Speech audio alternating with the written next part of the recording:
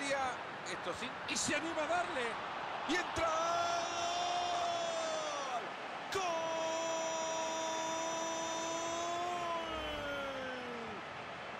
Impresionante hat-trick de esta fábrica de hacer goles que es bastante de un equipo.